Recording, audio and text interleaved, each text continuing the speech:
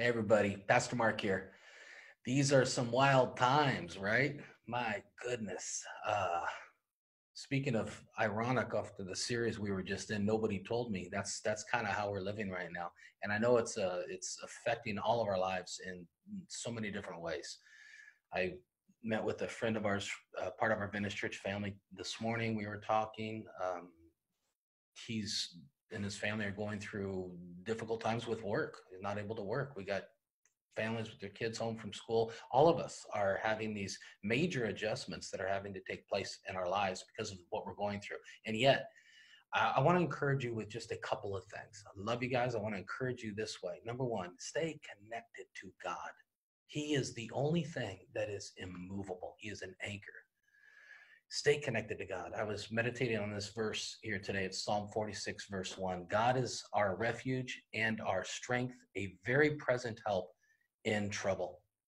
He's our refuge, He's our strength, and He's a present help. He's presently available for us. And so I want to encourage you pray, seek Him. In fact, we've got uh, prayer prompts that are going out daily on Instagram. There's on our website ways that we could pray through this crisis that we're in. And we've put together a, uh, a Venice Church prayer hotline. You would just go to prayer at venice.church and let us know your prayer request, any needs that you have right now, so we can be in touch with you, contact you, pray with you, be there with you. We're going to walk through this together. And so that's that's actually the second encouragement is we want to stay connected to God, but we've got to stay connected to one another we've got to stay connected. And I think one of the best ways that we can do that is continuing with our online groups. So even though we're not meeting together in the same location, we are still meeting together online. And it's kind of a cool experience. Some of you have already been sharing with me experiences that you're having and, and uh, connecting with other people. We've got many that are happening right now that you can still sign up on our app or on our website. And in the next week, we're going to roll out some more that uh, people coming together and, and sharing life together one another and being the church for one another. And here's another important reason why i wanted to do this today as well is if you are not receiving our email updates then boy i want you to go to venice no go to info at venice.church. Info at venice.church. Make sure we get your email, your contact information, because we're rolling out things that we have available, ways that we can serve our community, ways that we can serve each other. Many of you have been saying, hey, you know, put me in, coach. I want to I want to be a part of serving. You're going to find that tomorrow in that email.